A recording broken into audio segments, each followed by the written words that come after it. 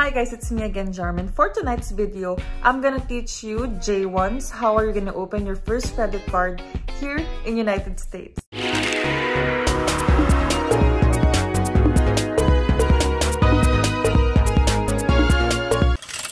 So maraming hindi nakakaalam na yung pong mga J1 pwedeng mag-open ng credit card dito sa United States.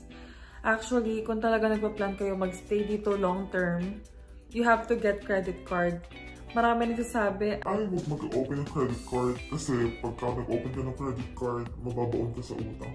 No, that's not true po. Nasa sayo po yan. At saka, dito po sa United States, nasa, sa US, kailangan, uh, we are required to have a credit card, especially kung nagpaplano na kayo mag-stay dito long term. Dito po sa US, importante yung credit score at makakapag-ipon ka lang ng credit points kung magkakaroon ka po ng credit card. So that's not a bad thing. It's required po yan dito sa United States. So ano po bang benefits kung magkakaroon kayo ng magandang credit score or credit points? First, uh, pagka nag-auto loan po kayo, housing loan, or any kind of loan, student loan, kailangan po makita yung credit score nyo, i-background check po kayo. Yung credit score po talaga, para siyang points kung magaling po kayong mangutang. Kung kapag pinautang ba kayo, malaki ba yung possibility na kaya nyong bayaran yung mga inuutang nyo. So that's credit score. Hindi po kayo makakapag-ipon ng malaking score kung wala kayong credit card. Kung hindi kayo totally nangungutang. So you have to utang talaga dito sa United States. May iba pong work, yung mga magagandang uri ng work dito, na nire-required na maganda dapat yung credit score nyo bago nila kayo tanggapin. Kasi, especially dun po sa mga work ng ng marketing, yung mga uri ng work na kailangan yung mga empleyado nila ay maaayos. Nag-background check sila. So, in order to do that, check din po nila yung mga credit scores nyo para po malaman kung magaling kayo mangutang, kung maayos kayo in terms ng financial aspect ng life nyo. So, malaking factor po yan dito kaya kailangan po talaga yung credit score. I will just give advice dun sa mga J1 na mag-open kayo ng credit card if you're planning to stay longer But if you're not gonna extend or nagpa-plan magstay dito ng mas matagal, I suggest not kasi baka hindi nyo po siya mabayaran. Tapos magkaroon kayo ng problem just in case na gusto nyo pang bumalik again. Tapos gusto nyo ayusin yung papers nyo. So, ito lang po ay para po sa mga nagpa-plano magstay ng mas matagal. At mag-ayos po ng mag-ayos ng papers dito po sa US. First credit card na, na, na, na first credit card po na masasuggest ko sa inyo na applyan is Discover. Kasi dyan po talaga malaki yung approval odds, especially kung wala pa kayong credit card at all. Pwede rin po yung Capital One kung hindi kayo ma-approve sa Discover.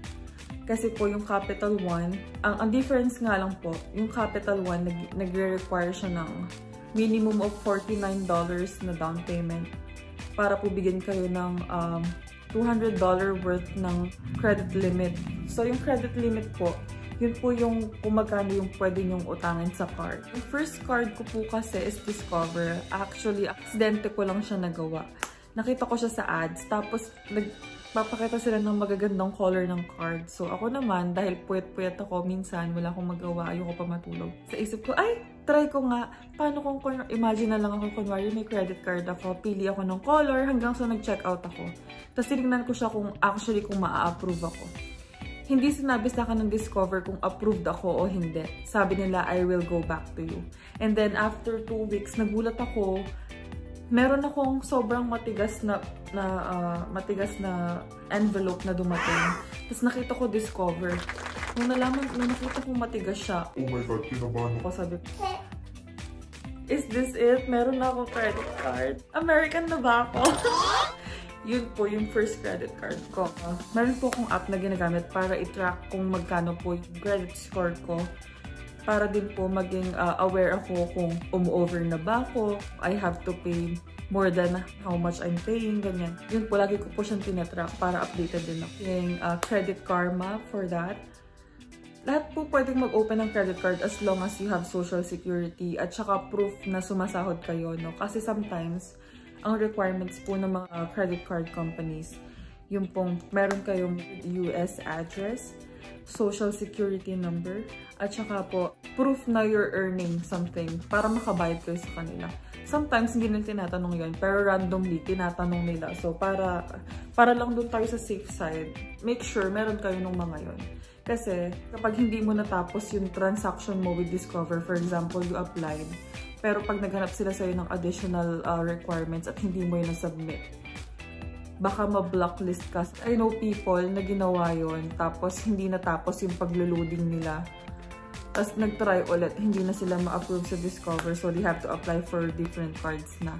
Kaya yun po, make sure na you have all the requirements before you apply. If ever hanapan nila kayo ng mga supporting documents, you have this and that para hindi na po kayo magka-problema. Okay? Ayun naman po, ipapakita ko sa inyo. yung mga credit cards na meron ako. This is not to brag ha. This is not to brag because there's nothing to brag about credit cards kasi this is card of utangs, no?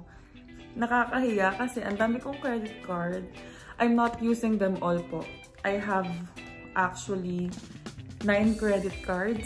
8, I think. 8 or 9 credit cards. But I'm not using them all, no? Here, kailangan yung kailangan madami kayong credit card para pagkatiwalaan kayo ng mga credit card companies. Tsaka para mas lumaki yung credit score nyo. I'm only using 3 of my credit cards. Yung mga sobrang importante lang po. Yung mga kagaya ng groceries. Kasi sometimes mapursu kang mag gumamit ng credit card. Yung mga credit card companies, pag bumili ka ng ganito sa grocery, for example, kasi hindi sometimes magbabayad ka ng totoo mong pera, i-urge ka ng mga credit card companies. Na ito na lang credit card ko, gamitin mo dyan pag nag-grocery ka. Ano? Para naman, pag nag-grocery ka, meron kang money back. O diba? Saan ka sa magkakamali ba card? That means discount, no? Kaya gusto mo na lang, gamitin yung credit card.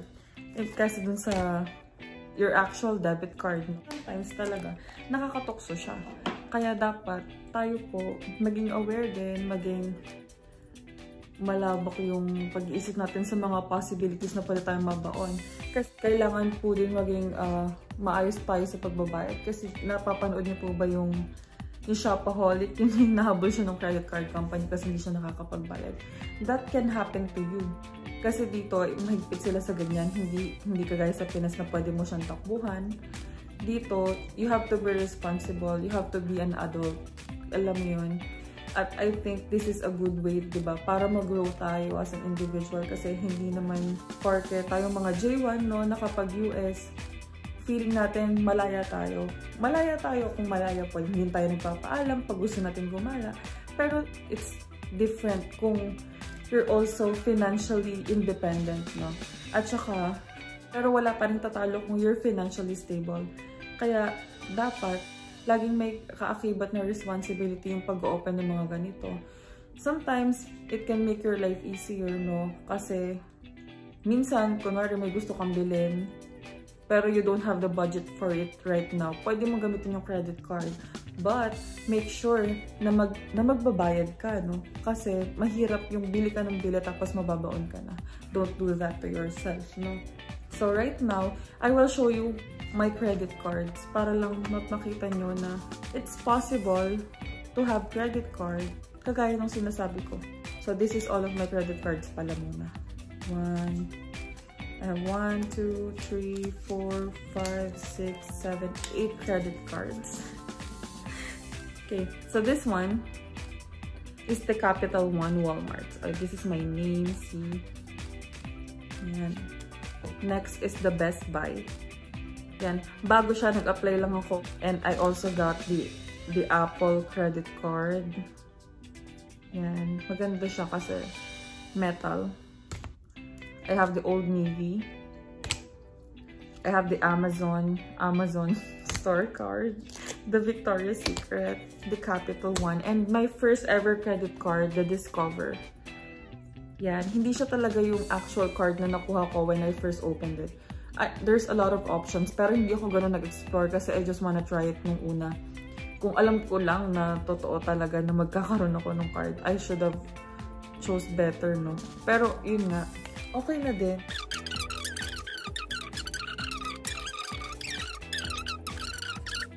This is for yung nga mga J1, especially yung mga bagong dating na hindi nila alam kung pwede ba? Limited ba yung options ko habang nandito ako sa US?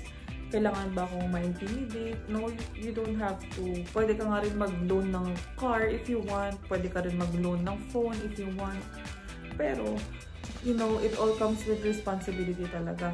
If you think na kaya mo siyang bayaran within time na nandito ka, you can. Pero if you're not confident enough na mababayaran mo siya, mag-ipon na lang muna kayo, no? Ipunin nyo na lang yung pambili. Tapos huwag na lang kayo mag mag-loan or mag-utang sa credit card, ganyan. Pero kung feeling mo naman sa sarili mo na, ay, okay ako, kilala ko yung sarili ko, hindi ako ganyan, I'm responsible, gusto kong matry, gusto kong matest pagiging responsible ko pa, pwede nyo siyang gawin, no? Kasi kailan nyo siya gagawin? When you're older? Kung kailan parang mas nakakahiya na magkamali. Well, actually, I'm not saying na pag mas matanda ka, hindi ka na pwedeng magkamali. All I'm saying is, we can do it right now, no? Bakit later pa? So, yun na. Uh, the purpose of this video is to spread awareness, to share yung mga nalalaman ko kasi ito I just recently discovered and uh, I taught some of my friends then how to do it and it helped them. Kaya naisip ko, baka it will help you too, di ba? Why not? And it helped me too, especially yung mga time na mga, yung mga gipit ka, kasi dito naman sa US, hindi naman porket nandito ka, ang dami mong pera, ganyan. It's not like that. Meron din kaming mga uh, malungkot days, malungkot times, especially sa sitwasyon ngayon, ganyan. Kaya malaking tulong yung meron kang mapapagpunan na you don't need to parang mangutang sa tao pa, 'di ba? That's the ano advantage naman ng pagkakaroon ng credit card. And ang disadvantage lang naman ito is sometimes yung tubo, but it's not that big eh. Yung, yung tubo nga, hindi ko siya ma-feel eh. Parang cents lang, alam niyo yun.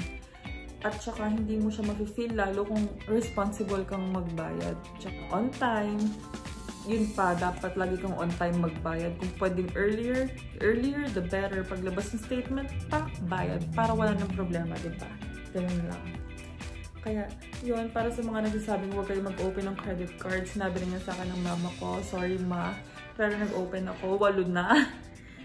pero it's not actually a bad thing. Alam nyo, ako kasi may weakness talaga yung pag-handle ng pera. And I think I learned how to control myself once I had access to credit cards. Kasi you're scared eh. You're scared na, ay, baka hindi ko siya kayang bayaran.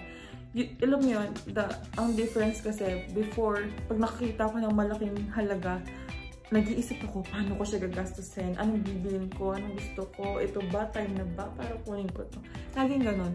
Pero ngayon, naisip ko na, pag nakakita ko ng big, big, uh, big amount of money, lagi ko na naisip, how can I save it? Saan ko siya dadalhin para hindi ko siya magastos? anong gagawin ko? I-deposit ko ba siya sa bangko ko? Kasi ako kasi, pag nakikita ko yung pera ko sa bangko ko, parang, ah, ang sarap pag online siya. Pero pag yung pera ko cash, hindi ko siya nagagastos actually. So, baliktad, no? Dito kasi halos lahat online yung transaction. Kaya, mas easier bumili kung online. Especially kung hindi ka naman lumalabas. Parang kagaya ko minsan lang din ako lumalabas. Kaya, ang shopping ko online. Kaya dapat ang pera ko, papel, para hindi ako nakakabili. Kaya yun nga, suggestion ko lang naman sa inyo. At saka advice na rin para sa mga taong gustong mag-grow, excited mag-grow. Habang nandito kayo sa US, it's your time.